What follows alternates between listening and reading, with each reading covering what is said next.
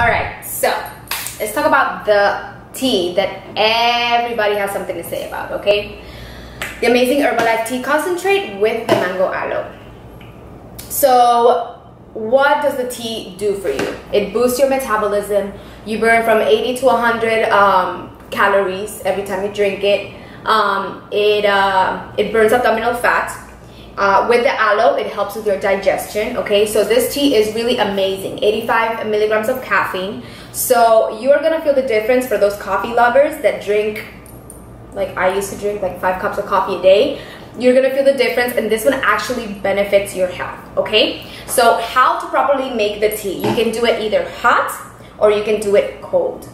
So I have hot water in here because I like it, um, how do you say, to dilute easier or dissolve easier.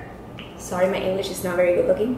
Um, so when you become a member, first of all, I send you one of these. This is a measuring spoon. This side is gonna be for the tea. And then this side is gonna be for the aloe, okay?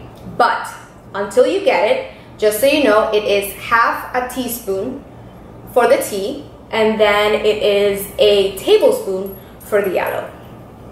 I say 8 to 10 ounces of water. You can do more water if you don't like it so uh, pure, okay? So, there you go. Just add the tea. Guys, this is the right way to do the tea, all right?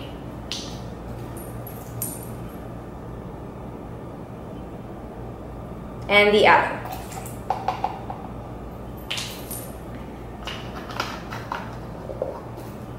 The tea comes in a lot of flavors and so does the aloe, okay? Um, so we have it here. You can mix it.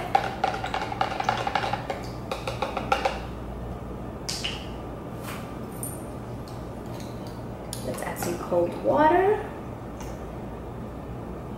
See, here I have 12 ounces of water right now. And then let's add some ice. There you go.